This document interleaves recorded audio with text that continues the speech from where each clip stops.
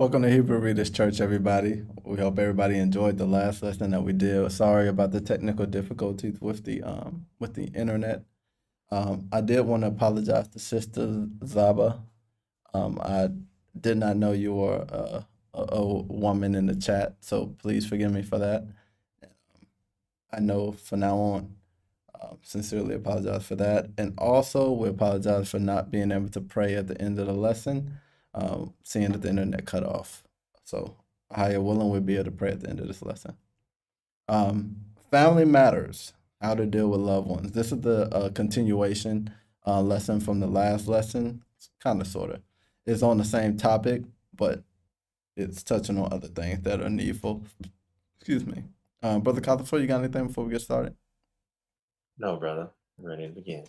All right, let's go.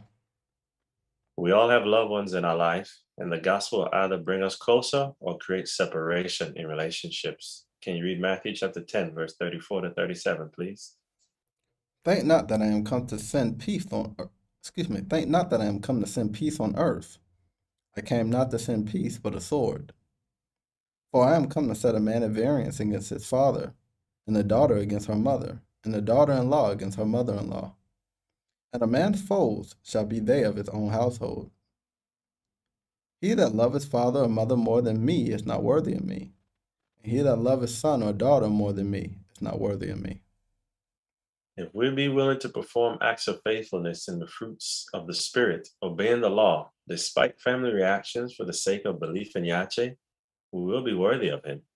For his name's sake, we have been, we have, excuse me, for his name's sake, we have given up things that we formerly were known for in this world and amongst those that know us. Can you read First Peter chapter 4, verse 3 and 4, please?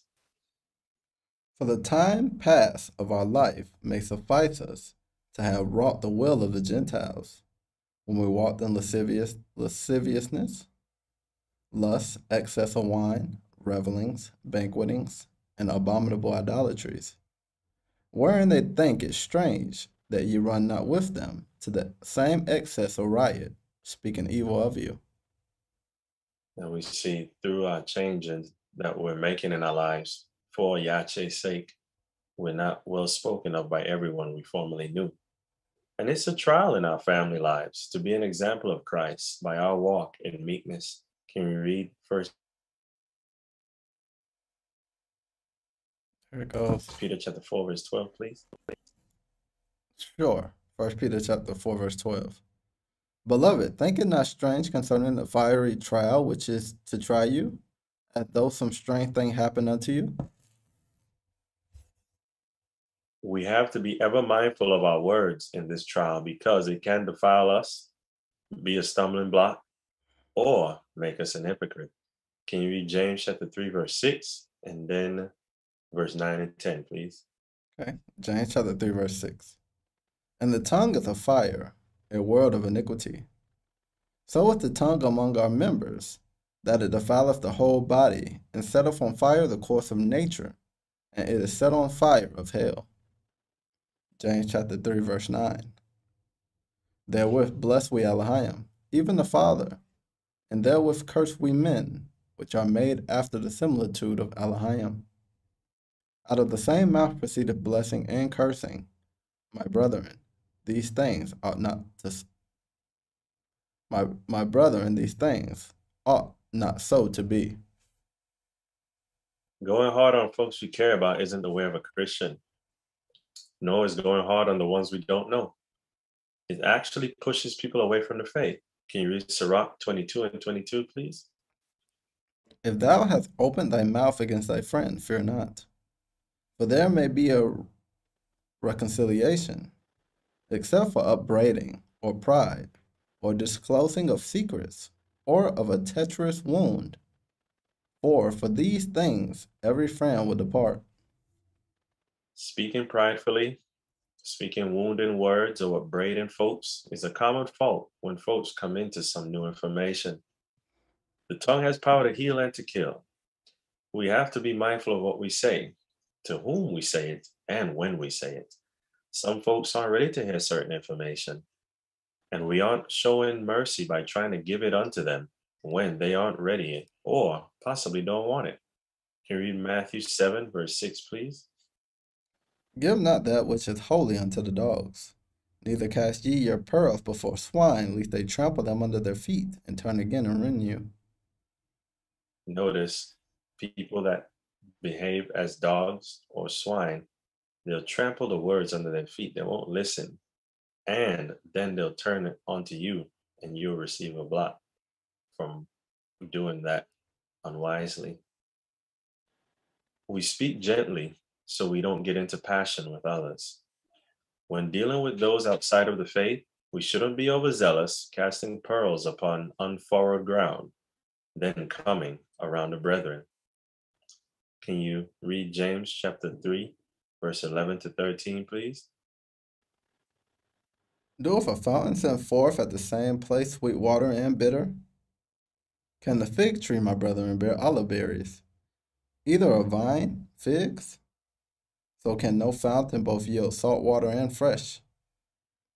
Who is a wise man endued with knowledge among you? Let him show out of a good conversation his works with meekness of wisdom. So our wisdom is shown in how we handle our conversations and meekness.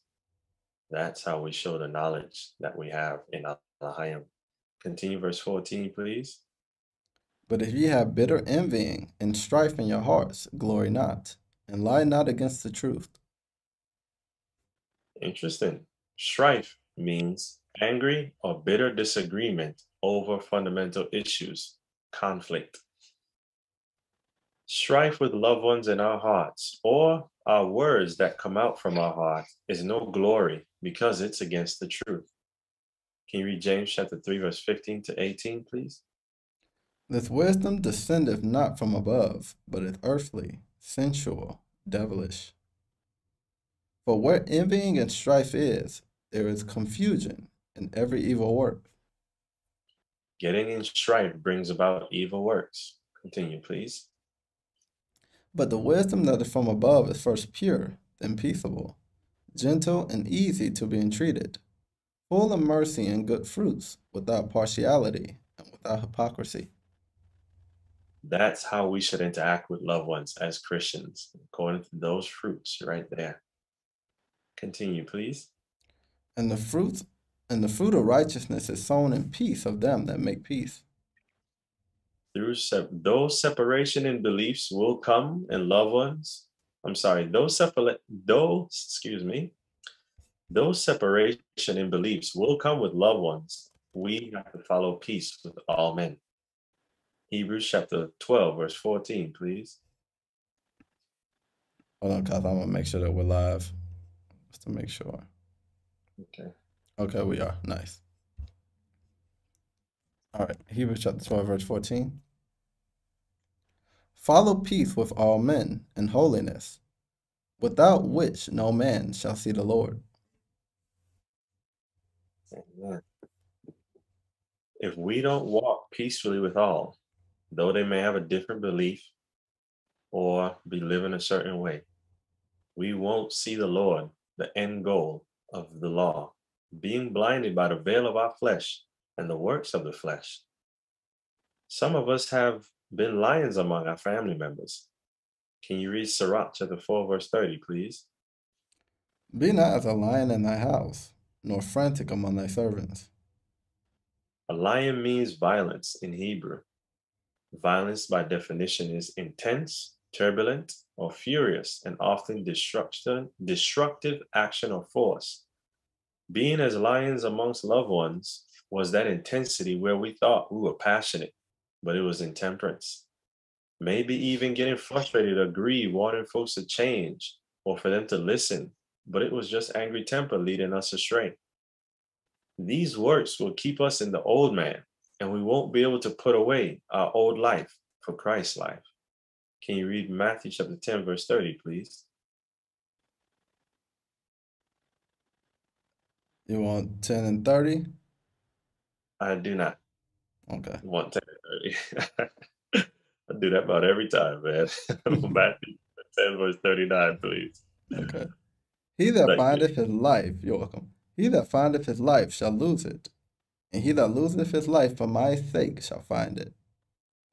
If his spirit doesn't consume us, we will be cursed, being lion like. Can you read Gospel of Thomas chapter 9, please?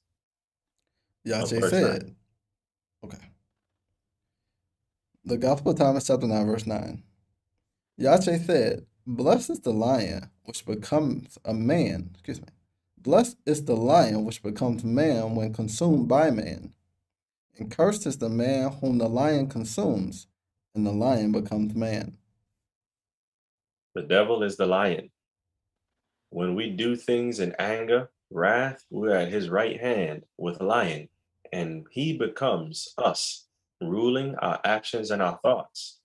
We, coming from this lion like life and lion like lion like ways, we need the man Yache to change us from be, being lions to make us become a man, which is his spirit being formed in us, so that our actions and our thoughts and our words be him, not ourselves.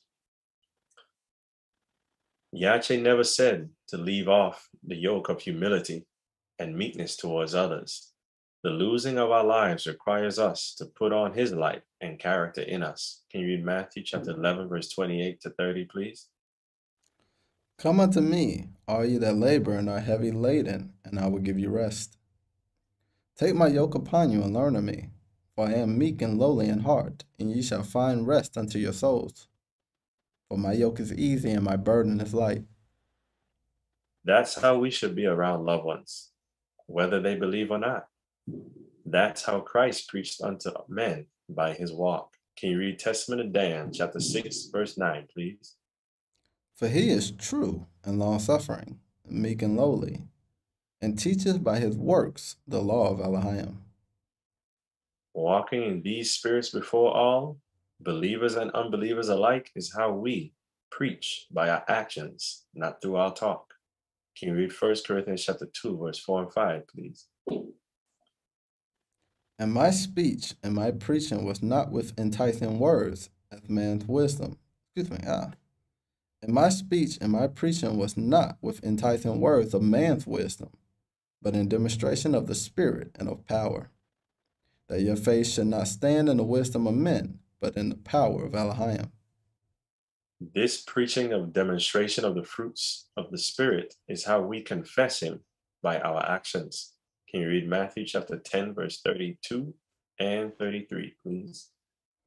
Whosoever therefore shall confess me before men, him will I confess also before my Father which is in heaven. But whosoever shall deny me, deny me before men, him will I also deny before my Father which is in heaven. Notice, brothers and sisters, this confession or denial pertains to our behavior, not merely what we say. We deny him by talking, and our works don't align with our speech. Can you read first? I'm sorry, Titus chapter 1, verse 16, please? They profess that they know Elohim, but in works they deny him, being abominable and disobedient, and unto every good work reprobate. That's what we not don't want to be.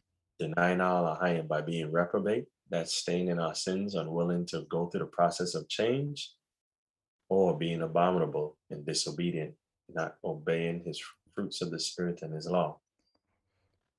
Let us suffer as Christians, not as evildoers. Can you read First Peter chapter 4, verse 13 to 16, please? First Peter chapter 4, verse 13.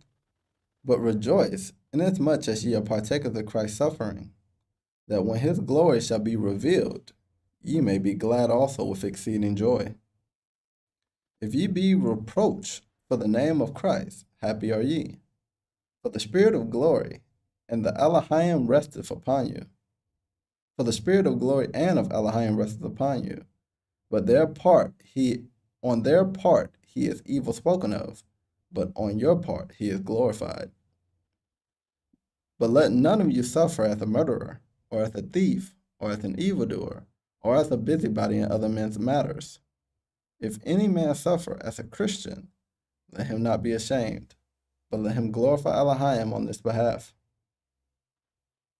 It's okay to be evil spoken of for going about things in a meek manner. But if we are walking in the flesh, being prideful or condescending or overbearing towards our loved ones, there's no glory in that. You'll find some folks glory in getting rejected from others as if we have the truth, or others just won't receive it. But many times the way we spoke to the person wasn't upright. The timing of when we spoke wasn't was out of season.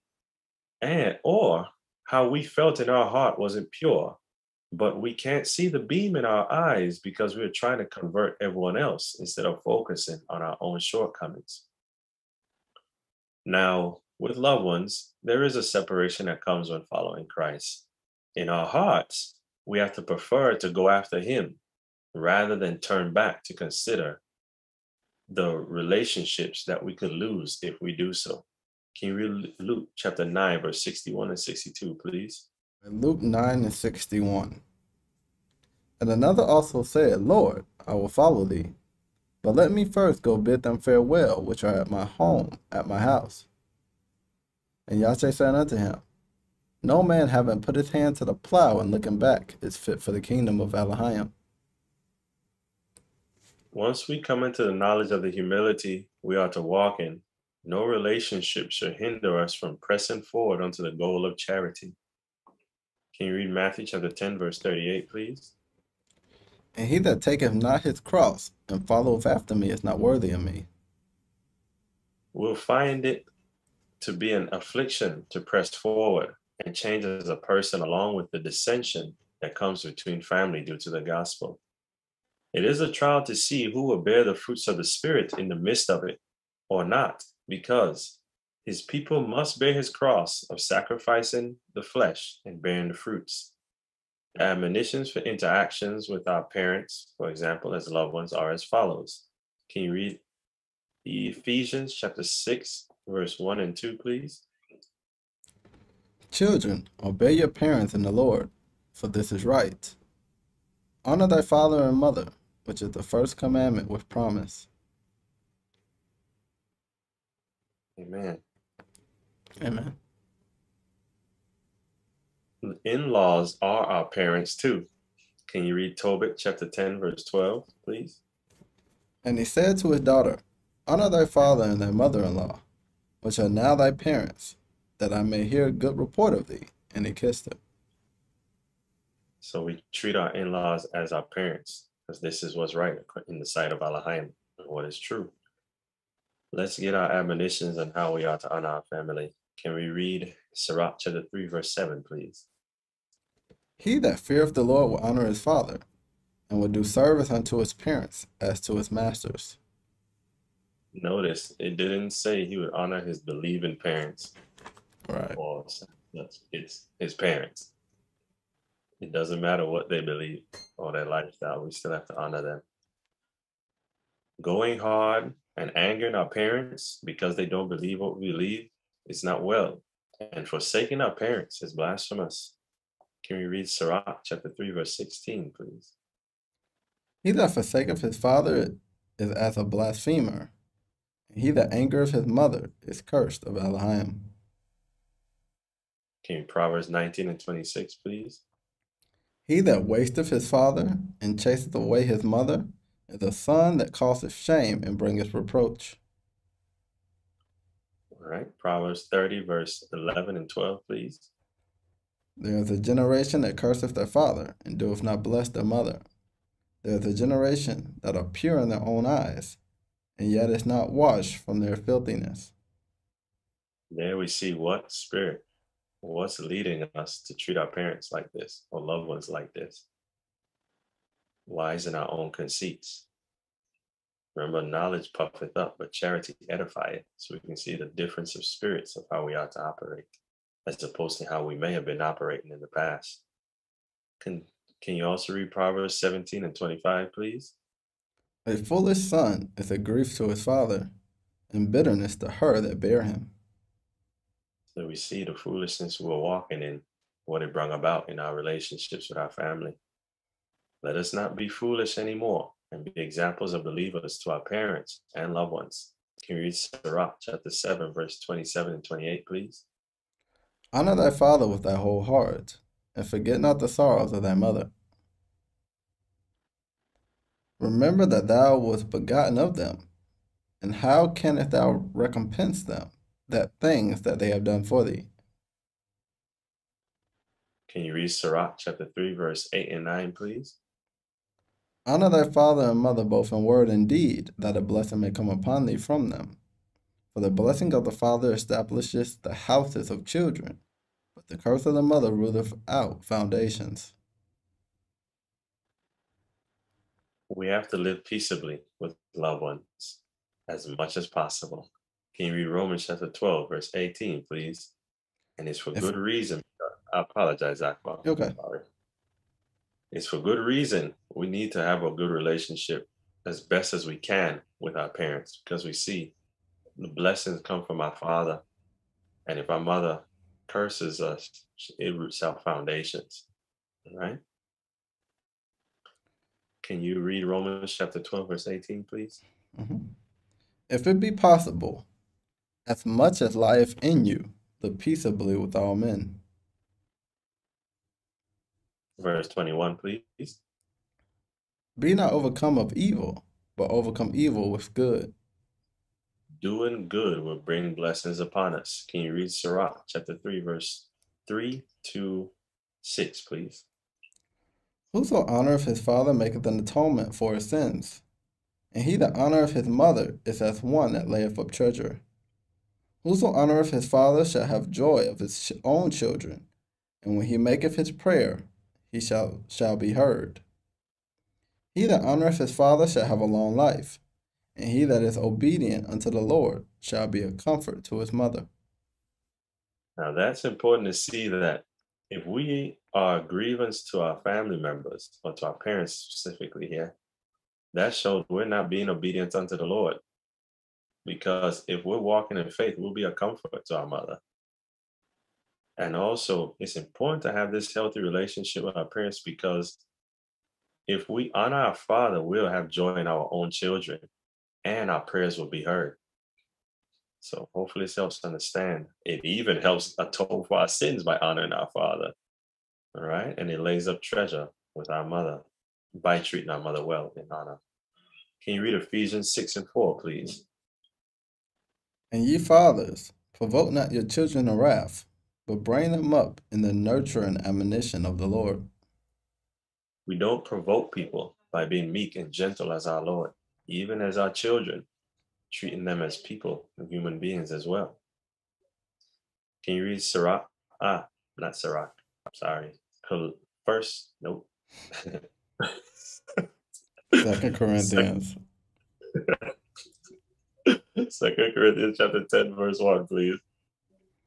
Now I, Paul, myself, beseech you by the meekness and gentleness of Christ, who in presence am base among you, but being absent am bold towards you.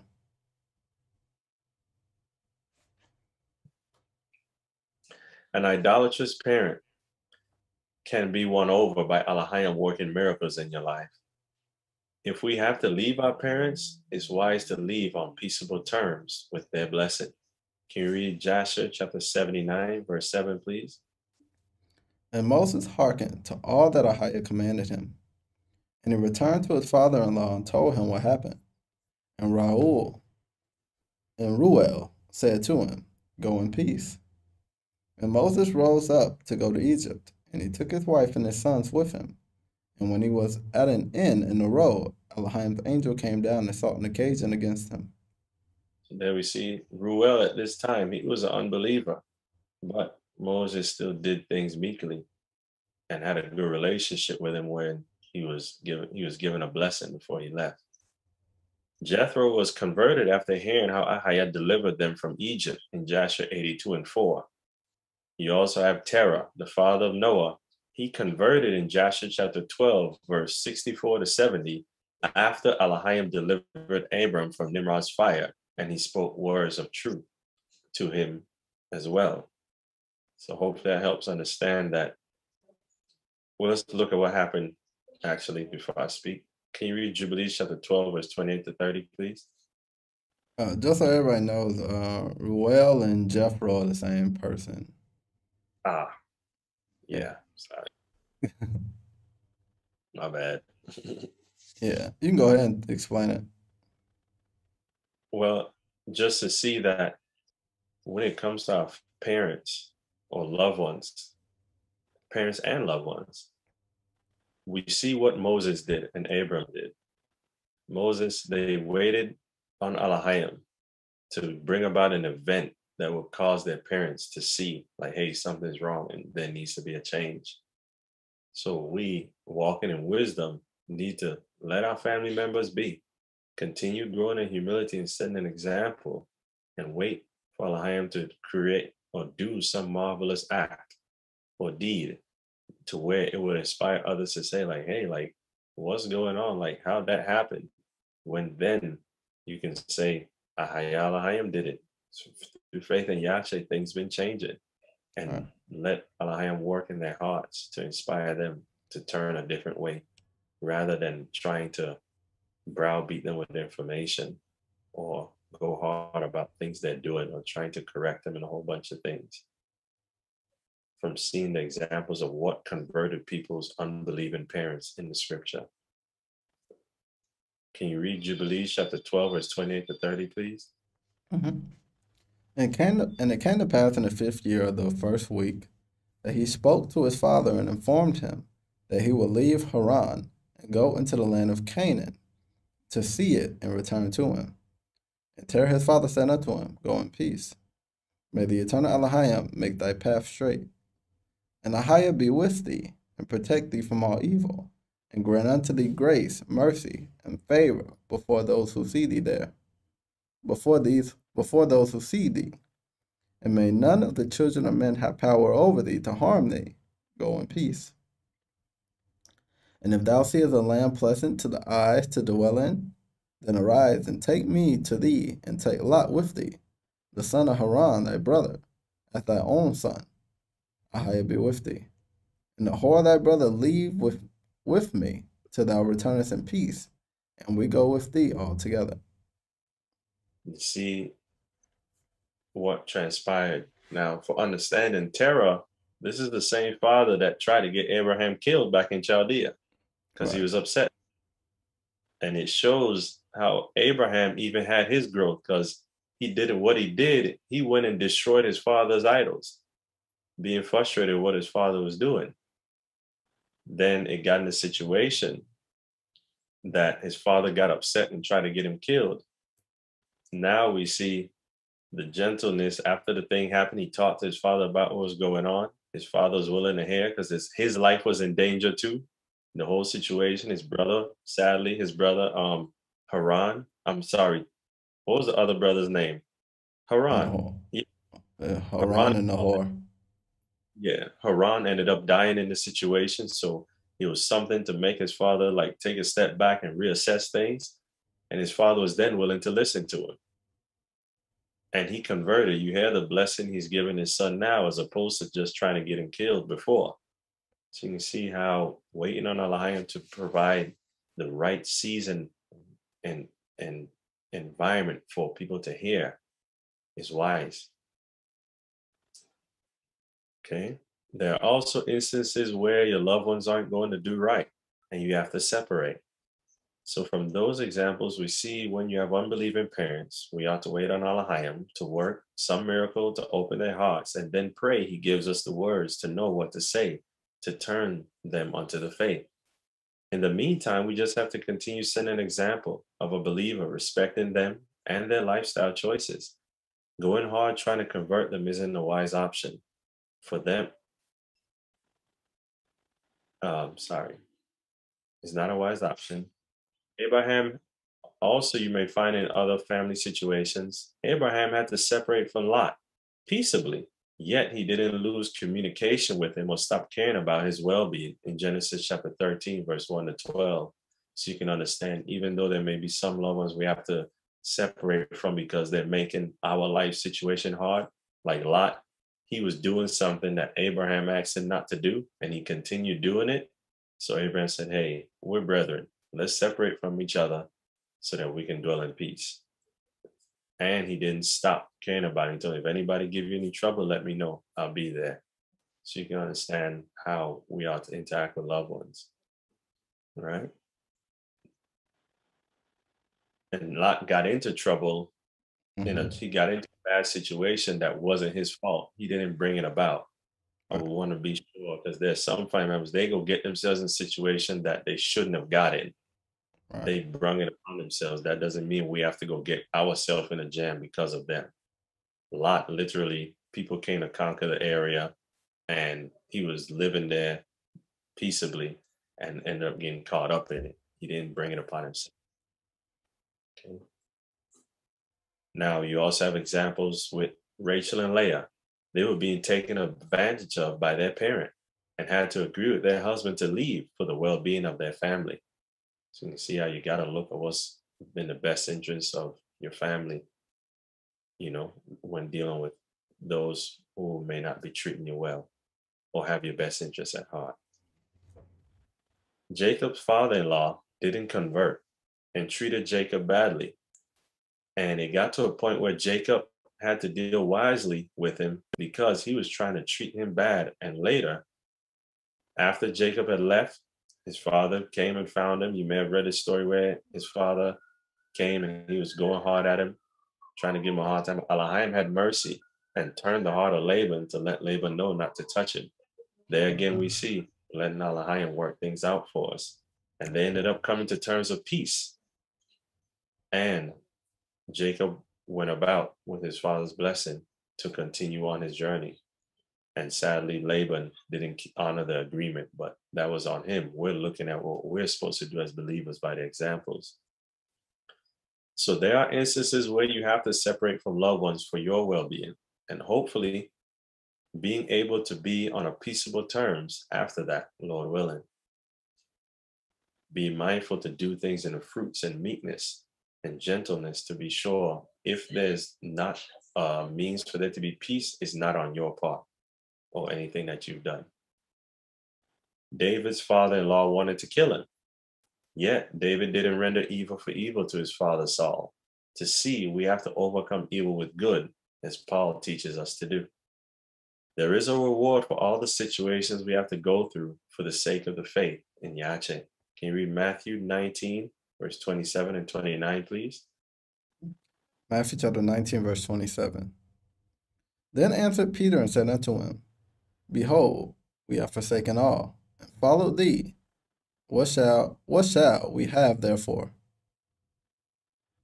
Matthew chapter 19, verse 29. And every one that hath forsaken houses, or brethren, or sisters, or father, or mother, or wife, or children, or lands, for my name's sake, shall receive a hundredfold, and shall inherit everlasting life. Amen. This journey is not in vain. May Ahaya be with us in all our trials and experiences. Hopefully, this is edifying and helpful for growth in our hearts, in our walk, and in our interaction with others. Anything else, Zakwa? Yeah, um, give me one moment. We definitely have to pray out, but um, let me touch on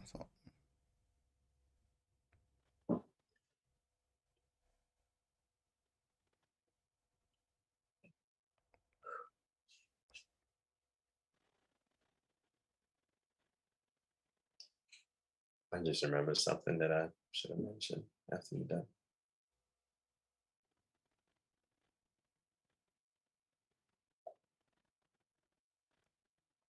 Um, um, the word forsake, I wanted to touch on that, um, so that everybody can have a proper understanding of what Yache is actually talking about. The word forsake is G863. It means to send, to send forth. So you can send somebody away from you, is to forsake them, right? In various applications, cry, to even cry about somebody, or forgive, to actually forgive somebody of something they've done for you, done against you. Forsake, lay aside. It also means to leave, or to let alone, like to stop dealing with them. Let be, or let go, or let have. So if they have something that belongs to you and it's causing a quarrel, let them have it. Forget about it. Leave it alone. Omit. Put away or send away, remit, suffer, or yield up. I thought the definition for sake was very interesting in regards to the context. Thank you.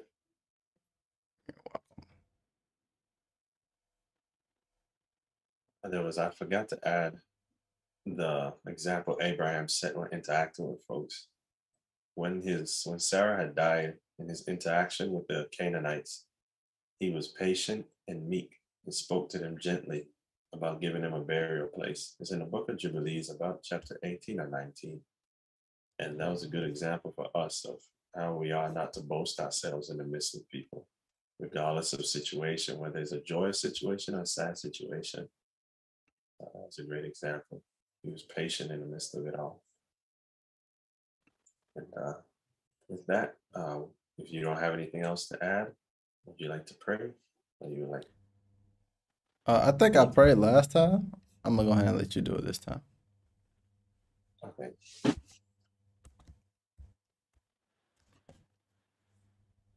Our Father, who art in heaven, hallowed be thy name. Thy kingdom come, thy will be done, on earth as it is in heaven. Give us this day our daily bread, and forgive us our debts as we forgive our debtors. Lead us not into temptations, but deliver us from the evil one. For thine is the kingdom, the power, and the glory forever. Thank you, Ahaya, Alahayim, for your mercy upon us and the grace to show us ourselves and your blessing through our Lord Yache. May you strengthen our hearts to endure our, our trials to be joyful, enduring the chastening as we grow to become new creatures in our Lord Yache Christ. We pray all men come to the knowledge of the truth, and we pray we escape the things to come to be worthy to stand before the Son of Man. In the name of the Lord Yache, we pray. Amen. Amen. Thank you, Father.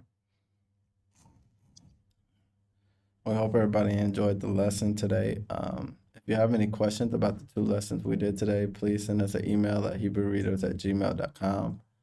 Um, we do have the PDF notes on the website, so you can definitely go and check that out and get the notes from the lessons. Um, if we're going a little bit too fast for you, um, we know we, we try to uh, um, we try to make the time shorter on the lessons so that um, for whatever people have going on with their days, uh, so that we're not holding people up. Uh, so with with that, um, the PDFs are, are are amazing because you can actually go back on your own time and write notes in and whatever whatever you need to do for your growth, for your edification. Um, Brother Cuthbertson, you got anything? Fellowship call. Um, time. Um, we did two lessons today, so we're not gonna do a, a members meeting today, but we will we will catch up with them during the week. Okay.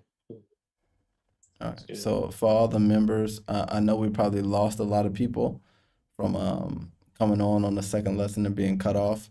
A lot of people aren't gonna get the memo, but it's, it's okay. So we'll we'll catch all the members um, during the week this week, and we'll cut catch up with everybody. All right. All right, everybody. Well, enjoy the rest of your Shabbat today. And for those that are on the other side of the world, you know, enjoy the first day of the week. May I bless you and keep you this week. And may you, may you keep eh, you keep Elohim in all your works. Right? Yeah. Amen. Shabbat Shalom, everybody.